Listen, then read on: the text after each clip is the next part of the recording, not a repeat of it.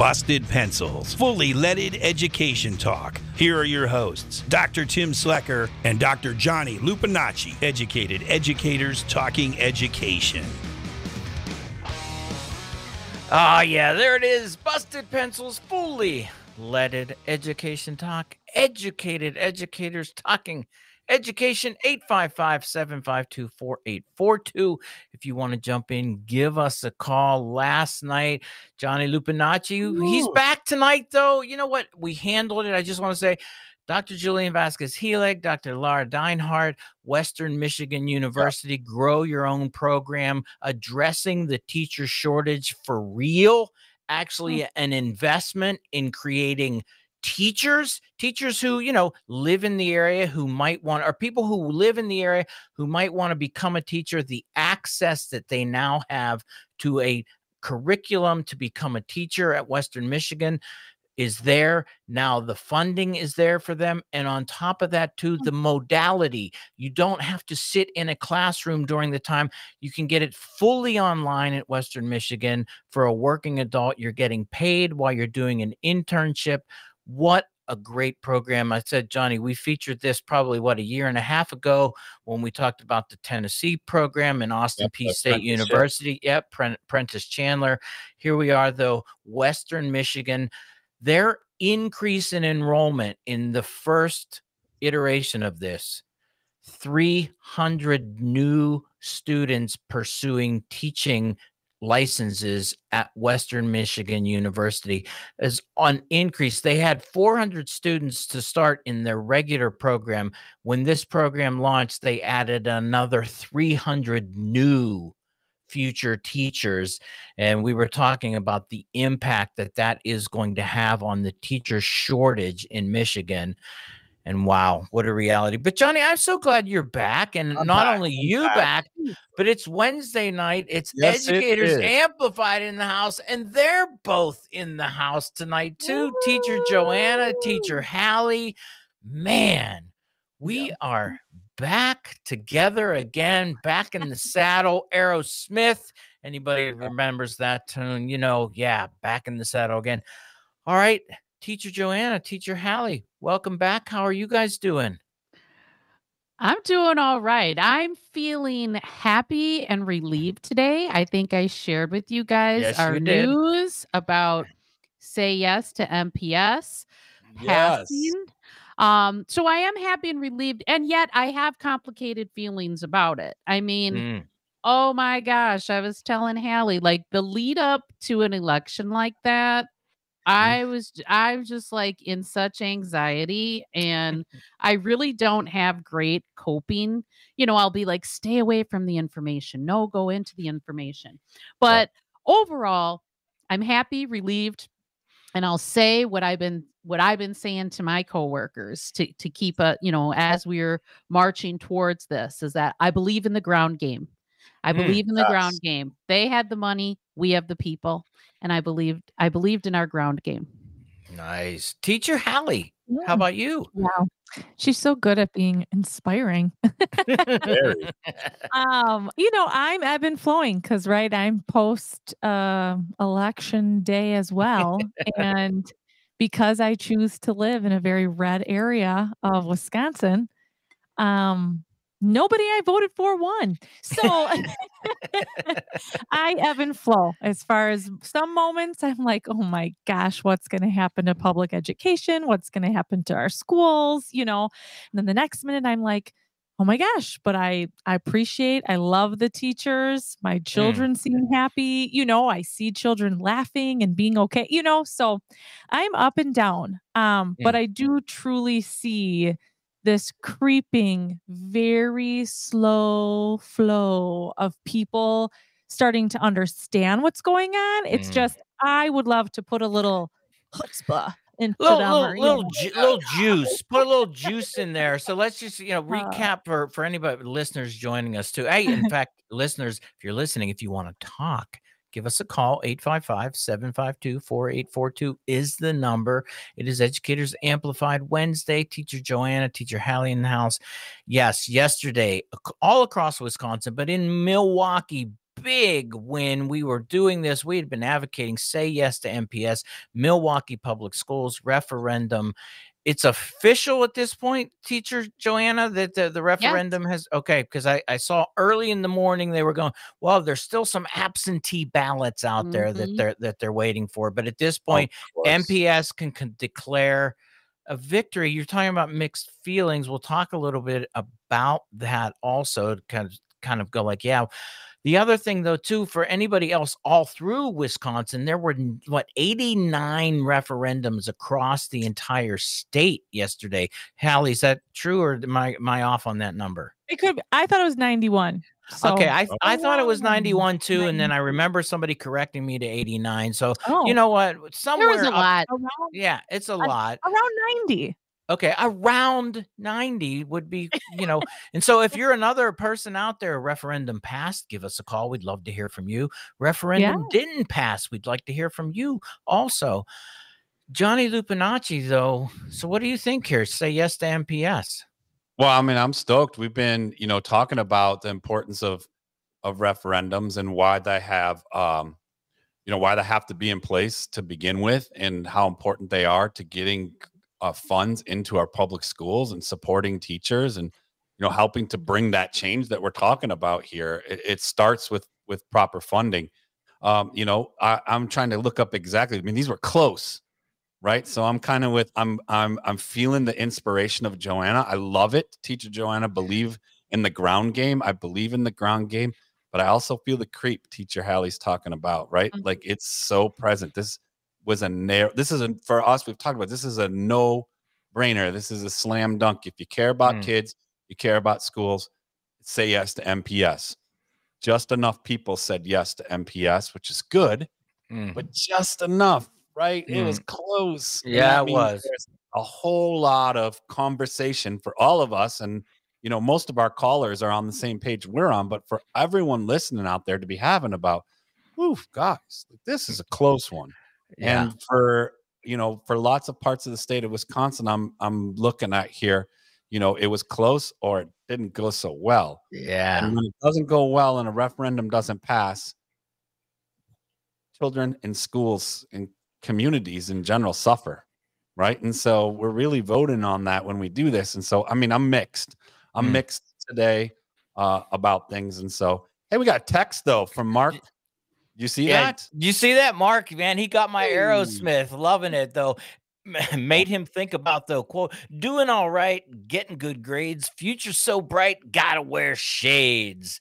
Yeah, a little bit of classic. Right? Teacher Hallie's like, you guys are weird, man.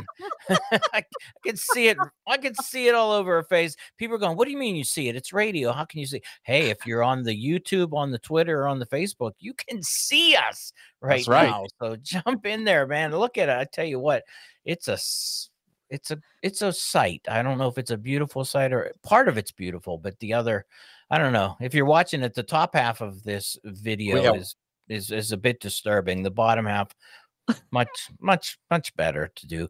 Yeah, busted pencils. Yeah, busted pencils. fully sunshine to the bunch. yeah, fully leaded education talk. Educated educators talking education. Wednesday educators amplified in the house. Teacher Joanna, teacher Hallie.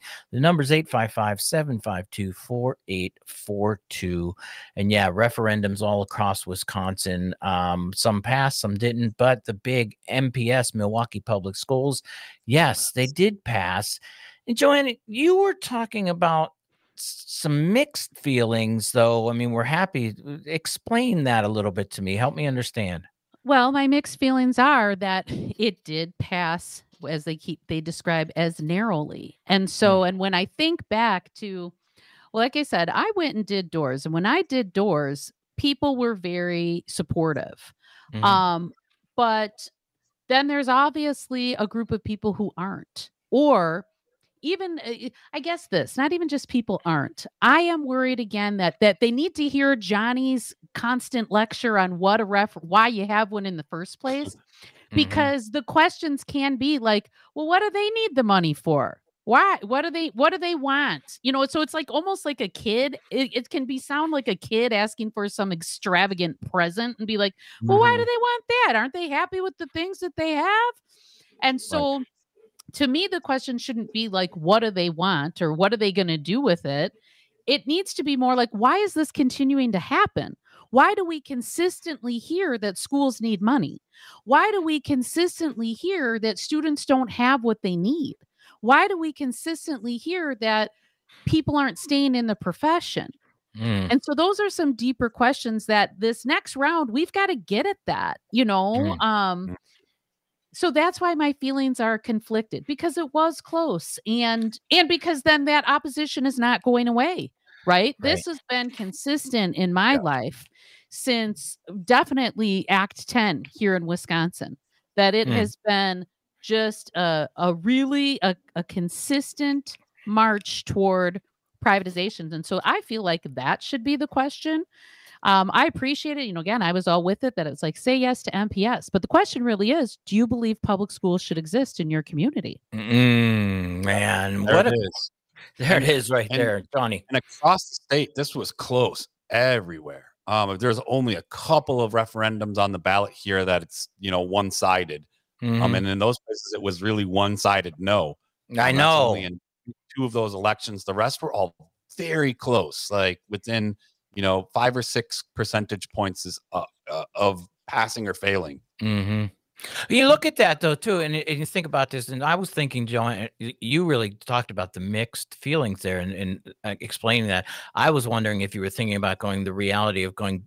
Why do we even need to go to referendum right. in the first well, place? Right? Yeah, I mean, and we have been talking about that for so long. It's just like, you know, in, in, in a way, you can say, you know, why are the property owners, the taxpayers of all of these areas, the ones who have to now kick in the extra money to do this. Well, you know, how did we get to this position? And we've been talking about this time and time again because of an active defunding of public schools, as you said, Joanna, over since Act 10. But let's be honest, it has been happening and happening way before that active defunding of public schools to the point where it's like, okay, and then the laws are created so that the legislature can say, well, if you want any extra money, you're going to have to go back to the voters to ask their permission. Well, wait a minute. Why aren't we getting the money we're supposed to be getting anyway? That's the question. And I want to put that out there. The numbers 855 752 4842. Yeah, we create a scarcity when, hey, guess what? There are billions, B billions right now in reserve. What's going on? Busted pencils. Give us a call when we get back. Yep. Yeah.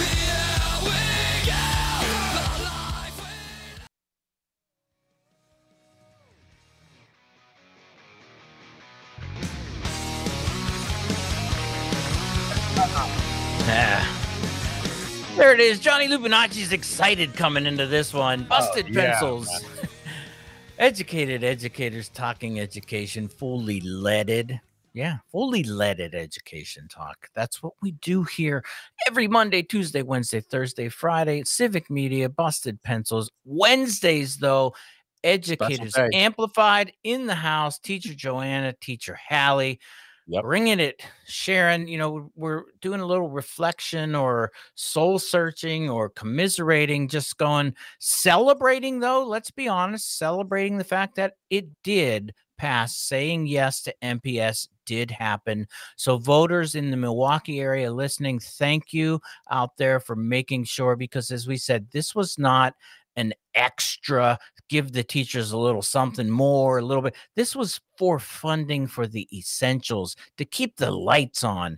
And there we go. Caller, Dr. Joanne is on the line. Joanne, how are you, our friend? I'm sharing in your joy right now, but I just have a suggestion. When there's a big bridge project or a big highway project, very often there's a sign saying this bridge or this highway was built with certain funds.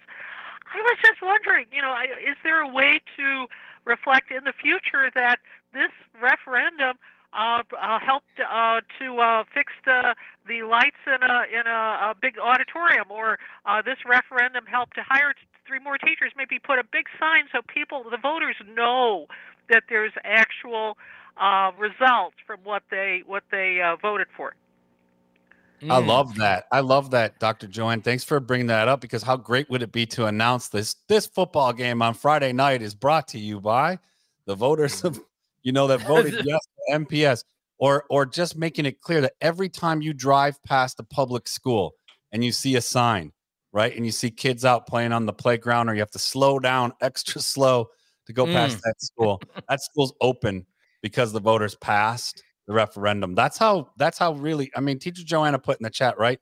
It's this mixed feeling after a referendum because it's celebratory and it's also the commiserating around like, how did we get here to mm. where we mm. have we, we've you know this orchestrated scarcity where we've underfunded so much that yeah.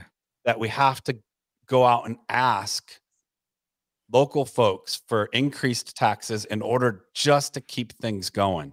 Right? That's intentional. That is by design.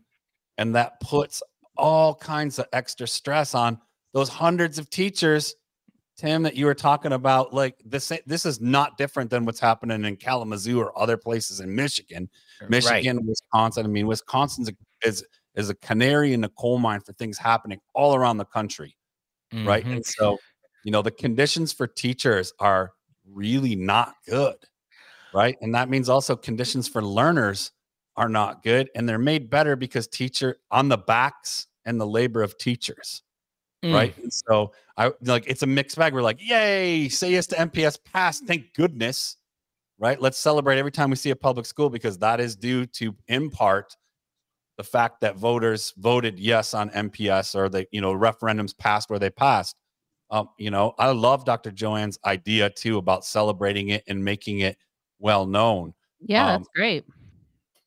Yeah. Jo- Joanne, you like that? I could see you smiling as as as Joanne was talking. Yeah, well, I because I think that is it. I don't think we do. I love the suggestion, and right, we don't do enough of acknowledging and in this way in a positive way of what's really going on and so people aren't aware like right i'm not sitting here thinking like people aren't aware because they're like dumb i don't think that at all i think it it's pro- related to the things that joanne uh, suggested that we don't make it known it's all kind of like taken for granted mm. um and so it was a great suggestion i also think though that this topic itself kind of weaves its way back to what you said you guys were talking about last night about mm. programs to bring teachers in i focus on like how do you get people to stay mm-hmm. and when mm-hmm. you think about this like if every year you're hanging by a thread and you need some referendum or th- i'm telling you there is stress and panic like monday and tuesday in mps was stressful you know and or and quiet you know, it's like you're all just like, ah. and then, you know, so that really contributes to the conditions that new people are going to be coming into. So there's a lot of reasons why we got to get this all right. Yeah, we definitely have to. Teacher Hallie got the the look of concern across your face there. I got, you know, hey, I just got to make sure that everybody, you know, the listeners that are truly listening, I got to describe what I see.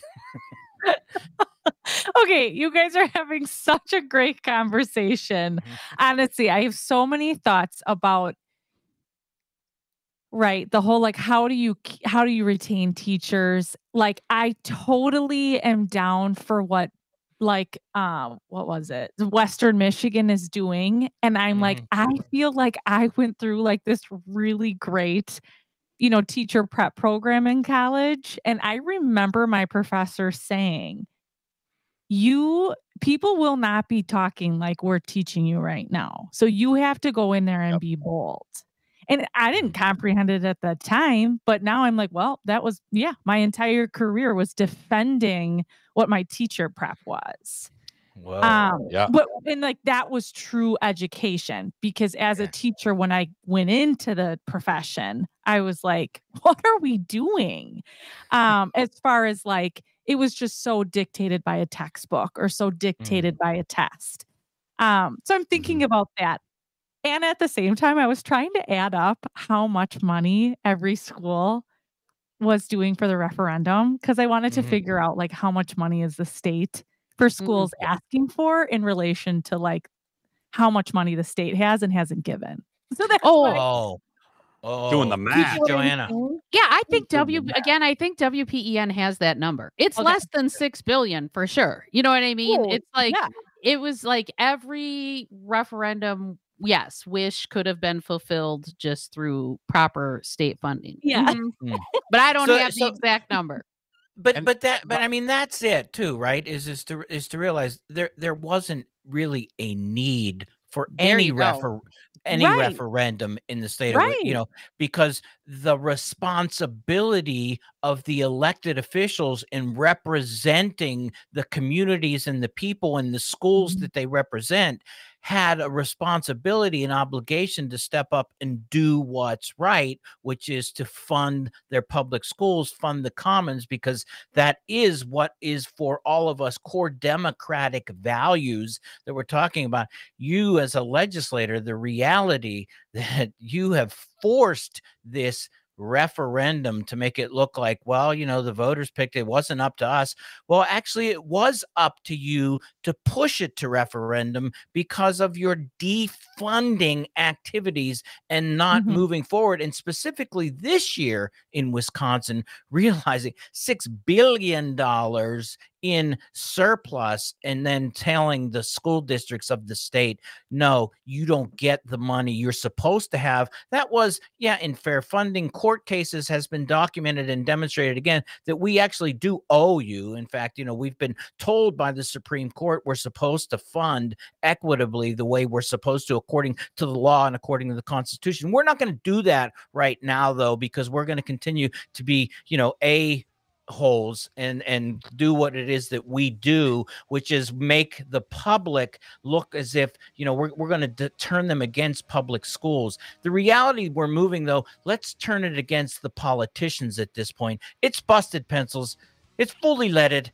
Man sorry got on a rant there. When we come no, back no. la tom la tom though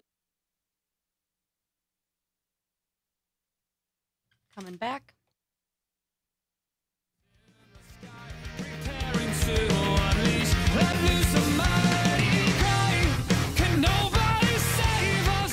Yeah, I know. We can save you. That's what we do here. Busted Pencils, fully leaded education talk. Educated educators talking education. Wednesday night, educators amplified in the house. Teacher Joanna, Teacher Hallie, uh, celebrating the say yes to MPS. Although some schools, you know, some school districts in the state of Wisconsin, the voters said no. We want to come back. We'll talk more about that. But LA Tom is on the line. LA Tom, what's happening, our friend? Hey guys, uh, first off, we the people ultimately are the government. We the people are ultimately the public schools. We the mm-hmm. people are ultimately anything that has to do with the public. And we should be calling these things, maybe we should start fixing the word government and calling it government schools and government um, you know, all the different things that are in the public sector that we all basically own. Hmm. Um, mm. You know, or, or we just say we the people, whatever it is, because it's our tax dollars that are paying for it. I heard some calls today, people calling, oh, why does Milwaukee need more money? It's like, first off, these were people who weren't even calling from Milwaukee. 2nd mm-hmm. off, it, it was um, they don't understand. They think that Milwaukee's just getting more and more and more money rather than the Republicans are sitting on billions of dollars that could actually help out the actual economic engine of the state of Wisconsin by actually giving money to Milwaukee the way that they should be. Um, if you want to hold people accountable to the money that you give them, fine. But you know what? This is this is for the basic necessities, and, it, and it's an and it's an investment. It is. I am a small business owner when I look at something um, in advertising, I look at it as a return on my investment. If I put this in, what am I getting back? And that's what we need to be looking at in terms of education. Everything that we talk about should be about a return on investment. And I'm not talking about money investment. I'm talking about a future investment. I'm talking about uh, public safety. I'm talking about everything that we do. I mean, I have a question. Actually, it's been bugging me a lot. do people even go for it? The nursery rhymes and do people teach nursery rhymes anymore? The three little uh, yeah. about you know basically uh, you know building a foundation full of bricks so the little so the the the big bad wolf can't go and blow it down and and you know the little boy that called um uh what was he called um oh man wolf the, the one that kept wolf? on doing what george huh the boy who called wolf cried wolf are you for? talking about the, yeah the one that cried wolf the way that george war criminal bush did i mean i swear to god there were reasons that they did these nursery rhymes and the reason they did these nursery rhymes is so people could actually learn at a child uh, age, like Piaget would say, in the concrete. Mm. So when they got older, they would actually understand it in the abstract. And it's not that abstract. Look at that. LA Tom dropping some education theorists there. Teacher Joanna response and then teacher Hallie. Well, I'm of course um am dismayed to hear Tom share, you know, again, what we know exists when we're talking about the city of Milwaukee. I don't know even that we're talking about the specific issues other mm. than the stereotype um, that's associated uh, with our city. And that just made me think that when we were putting on the work, we were thinking the whole like, we're going to focus on Milwaukee and we're going to put on the work because a lot of the noise was from outside. And then when he was talking about nursery rhymes, honestly, I was trying to think and I'm like, ooh, I don't know that. Um, I don't know if that was in the the Lucy Calkins reading series uh, that that or if it's in any of the reading series that now are very limited uh, mm. for young people having access to. So I was more thinking about that. Hallie has younger kids; she might know. Honestly, not that I can think. Yeah. I mean, maybe they're not telling me, but no. I mean, anything Lucy Calkins, one hundred percent does not. But uh, come on, you little kids were doing were doing doing nursery rhymes, right? I mean, we haven't cut mm-hmm. out nursery rhymes in, in children's literature for little kids, have we? I mean, maybe we have in today's you know polarized world because you know I'm sure somebody finds something offensive about naked pigs and having their houses blown down by big bad wolves. There's probably some mm. sexual thing there that I don't see happening that we would need to ban the three little pigs because yeah, I mean, I remember reading them and and for some reason they never had clothes on. So maybe that's a, a, a real issue there. Teacher Hallie, I see you now going into the the phase of going, hmm, let me think about this. I am, but I want, My- but I want to say, oh, sorry, I was going to say though, I always really appreciate um, the grounding nature of LA Tom and how he, you know, grounds folks back to you know what our democracy is really about and and so yeah i always appreciate uh, his groundedness in these topics. Hallie. I do too yeah i do too i always love he's got his his beginning sentence. Maybe it makes me think maybe i should come up with a slogan to say before i speak. Um but a little bit honestly my child my youngest is in first grade and mm-hmm. she started school in 4k I do not remember her doing nursery rhymes. And if I mm. think about her school day, day to day, maybe they would have uh, quote unquote allowed it in 4K, but definitely not 5K. Johnny Lupinacci's got to look like he has a sense of this too. I want to go upstairs and ask her. yeah. No, I was John. just kind of I I I want to come back to this like the reasons again mm. why because we were talking Thank about you. you know some people are uh, upset about referendums passing. You know, mm-hmm. we're excited about it because Milwaukee Public Schools, I mean, we have a lot of great friends teaching and doing really important work in those schools. And there's so many schools across the country and the state where there are amazing teachers doing great work despite underfunding. And that shouldn't be mm-hmm. the case. And, mm-hmm. you know, if we look at, um, you know, the, the, uh, teacher Joanna brought up the Was- Was- Wisconsin Public Education Network, you know, and they share a report about you know referendums, and if it and in in one of their reports they share, and it's important, it's like over the past thirty years, the the state which like historically funded public schools has decreased their funding and really dispersed those dis- de- decreases to local people. So those tax cuts that said politicians ran on, they said, "Hey, we're going to cut taxes. We're going to reduce your taxes." That was all smoke and mirrors. Hmm. They just put it to local votes. They put uh, you know each district and county in, in into having to to find make up those funds somehow because magically the cost of electricity didn't go down the cost of feeding children didn't go down the cost of providing health care to teachers didn't go down right? The cost like everything else increased while the funding of schools went down. And i just want to point out that that's very orchestrated instability. Hmm. it's not only lying to the taxpayers uh, you know of the state and saying hey we're going to reduce your taxes. No that that cut comes from somewhere. And Hmm. it came from public schools. And if if we look at these reports you know K twelve k-12 school funding right? They've had to they've had to make up uh back in 2000 32 million dollars lost in those cuts. So referendums had to make up 32 million right? In 2010 it was 180 million they had to Mm. make up in those continued cuts. And in 2023 it's 650 million right that they've had to make it so there's this there's a there's a pattern here that for everyone who is like you know who is hearing well we cut taxes we reduce taxes we reduce taxes at the state level um they really haven't they've just Yeah. put it on the local people and orchestrated instability in our schools.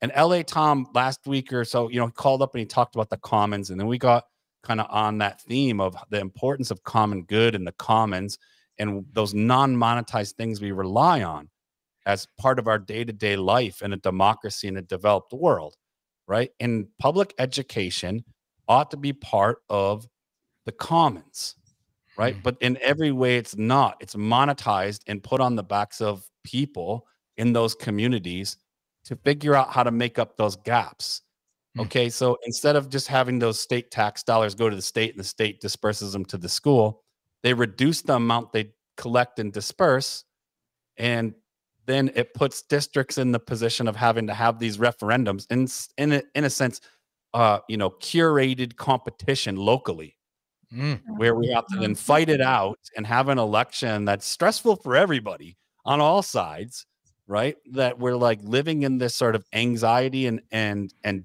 instability of are we going to have enough money? Are we going to have enough money?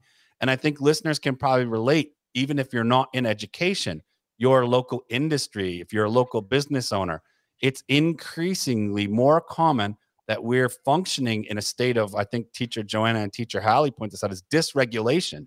When Mm. we are every day having to think about where's their gun where's the money going to come from in order to operate right? That is not the commons. That is forced competition. That is orchestrated instability that has health impacts that has viral material uh, loss for our communities. The quality of education can't be as high as we'd like it to be when everybody's stretched really thin. And that stretching isn't by like natural disaster or, or some Mm. some natural occurrence. It's in every way you know curated. It's it's orchestrated. And it's under the guise of we're going to reduce property taxes. Uh like newsflash you know or you know we're just going to have you have that money have to come from somewhere else. It still has to come from somewhere a curated catastrophe. I'm hearing that. Mm. Mm. I think too what's interesting is like you know, looking into referendum information is pretty dry. You know what I mean? And like understanding it can feel pretty complex to just like your average taxpayer.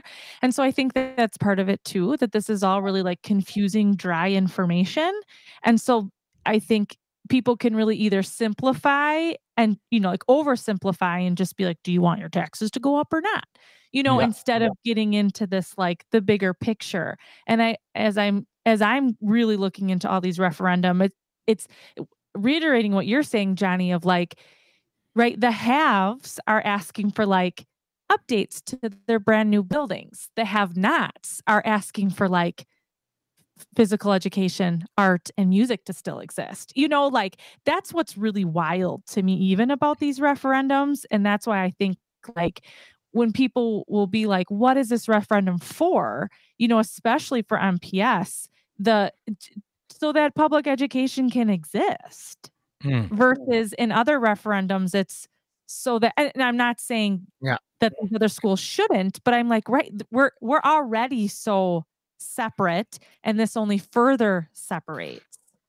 You know what I mean? Well, no, which goes back, yeah, which goes back to the the, the state's constitutional obligation right. to fund public schools equitably in the fact yes. that this has been litigated all the way at the Supreme Court level to say that the state isn't living up to its constitutional duty because of, we said, the disparate funding that happens between schools that don't have and schools that already have, and saying that, you know what, actually, if we were funding Milwaukee public schools equitably, it, mm-hmm. it would be in in a different mm-hmm. way and so we, we create that and you know johnny's in this competition that we point out you know hey the mm-hmm. number is 855-752-4842 if you want to jump in 855-752-4842 you know uh, caller teacher joanna i see i could see that that look is like i got something to say well or more no i was noticing i have an awareness of myself and i'm like I love Johnny's explanation and it's so good. And yet I notice that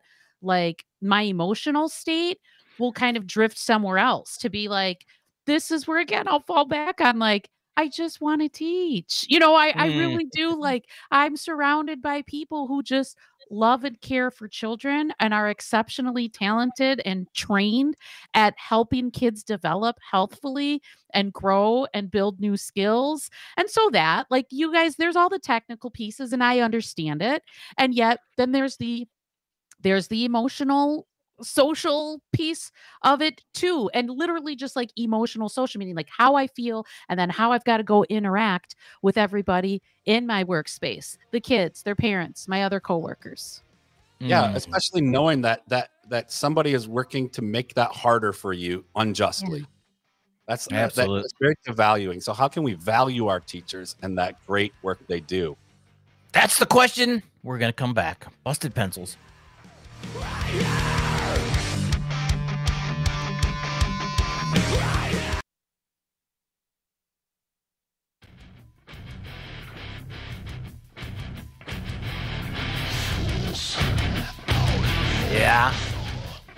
School's not out yet. Not it's busted pencils, almost, but fully leaded education talk. Educated educators talking education. 855 752 4842.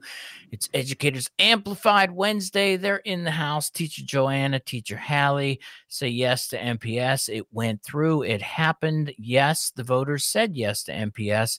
And man, we have been having a rich conversation just on all of the things that this has brought up. Um, you know, lots of different angles and ways to look at this, but kind of thinking about this, I was thinking about what you said, Joanna, about, you know, hearing Johnny kind of really go into the depths of understanding this, and you kind of as a teacher and the realization of saying, man, just let me teach.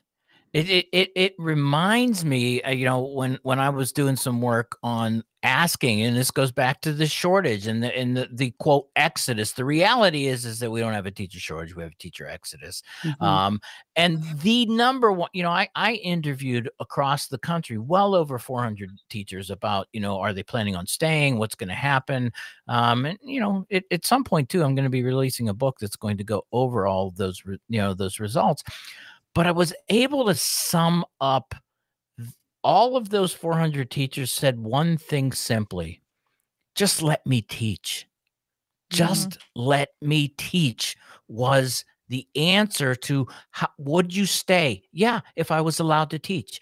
Would you yeah, yeah, if I was allowed to focus on being an educator, if I was able to devote my soul the way I imagined when I wanted to become a teacher, could I live out that vocation of giving back, of doing better for students in front of me for the community? That was always there. Oh man, Jack from Merrimac's on the phone. Jack, what's happening, our friend? Well, first thing is, um, I 100% agree. Just let me teach. Although I'm retired, I've been retired for about a decade, but I saw this coming. Um, and when I when I did retire, Act about the same time Act 10 came in. What a coincidence! Um. I noticed that uh, uh, a lot of things kept on happening. Uh, you know, the, the, the public schools are. It's demanded that they teach to tests that they have so many days uh, a year of testing. Uh, sometimes both semesters uh, that we were had our students out of our classes testing. Of course, every study I've seen shows that more classroom time equals more learning. Um, then um, there's uh, within Act 10, since teachers have no control over their conditions of employment, um, I uh, saw four days a week where teachers were called in. Uh, classes started at eight. They had to be in meetings at seven, which let out between 7:45 and 7:50. You barely had time to get to class, much less. So if you wanted to actually teach and prepare for your teaching, you had to be in 6:30. Uh, I was in the lab at 6:30 anyway regularly because I taught sciences, but uh, um, not everybody did that. Not everybody made that choice. Um, but the thing hmm. that really galls me about this whole thing, there is money there. We you've already covered that. Um, what yeah. really hacks me off is the unreasonable um, uh, dichotomy between giving away for welfare $3,000 a student to private and parochial schools. And I taught in, in uh, private and parochial schools as well, uh, but mostly in public, uh, giving away $3,000 per student, but then saying, oh, if, if, if you will tax yourselves more, you can then get $300 per student more mm. in funding. Uh, that, that, that to me is just an ultimate outrage. Somebody really should take that to to uh, court and point out that you, you talk about unequal. I mean, mm. equal. Uh, what was it? Equal but separate is inherently unequal, and boy, it sure is in this case. It absolutely is, Jack. Man, I tell you right there, you know, dropping it, it, it's like the reality of, of where we should be thinking about this. And again, I'll refer to teacher Joanna because I can see her and I can see that look. Well, it's always great when you have a, a fellow educator uh, to relate with. Uh, so mm-hmm. I appreciate Jack from Merrimac calling in and sharing that. And that just though twisted my mind back to again where we've been weaving in and out of this conversation about he described conditions for teachers, yep. right? And mm-hmm. this idea of having to be there early and your time, you know, and you're not compensated for that, and that you really don't have time to adequately prepare and it's part of that orchestrated chaos honestly i think that mm. johnny uh, talks about um, that's a whole nother part of it of like how the job what the job has become um, so yeah i was just really thinking about that and like i appreciate jack sharing because anytime we get out the reality it helps mm-hmm. people have a better awareness and deeper understanding and mm. thank you jack for being a teacher and a caller and a listener uh, for mm. listeners, Jack referred to Act 10 uh, 2011, which severely limited collective bargaining for teachers, uh, for mm. public employees. And so, you know, there's a big loss. Huge. And I, I, man, I, I just, I remember that. I got to say, you know, well, no, I won't say that, but um, a lot of Act, yeah, what happened with Act 10 um, actually did generate um, the fact that we actually have busted pencils uh, right now um, because because of where that was and i was in pennsylvania at the time but um, watching that happen, um, I was doing some commentary at the time on local radio, and I had a great friend. I still have a great friend in in the Wisconsin area who was in, doing some radio, and he was like, "Man, you want to do some commenting on what's happening up here in Wisconsin with the Act 10?" And I and I did some commenting, um, you know, with local radio there at Wisconsin at the time, and um, that actually led into you know how I ended up in Wisconsin and how Busted Pencils was born. So I don't want to say Act 10 gave us Busted Silver Pencils. Lining. Yeah, no. I know, I know, right? Because but but you know hey, it, it will take the importance, you know, Tim, of of taking that taking on that role of opening up conversation about these, like mm-hmm. Teacher Joanna said, creating a space, you know, and stewarding the space where a teacher can call up and say, mm-hmm. "Here's what's happening.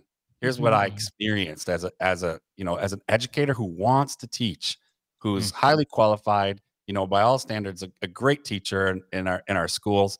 And here's how here's what my work experience was like. Here's the loss that our collective community of teachers experience when things like Act 10 went into into motion. Yeah. I want to offer too, like, I just appreciate that we get to be here once a week too, because Educators Amplified, that is really what it is, is about that emotional piece. I don't remember Act 10 as stripping away like my collective bargaining. I remember the emotional like PTSD mm. that I have from it. And wow. year after year yep. since then. And then these referendums, the emotional hits that we take in our profession. And that and is why we have busted. And guess what? Busted pencils, hopefully the antidote or some type of relief yeah. of that PTSD. Busted yeah. pencils, educators amplified, teacher Joanna, teacher Hallie, thank you so much. Tomorrow, hey, Thursday, Martin Atkins post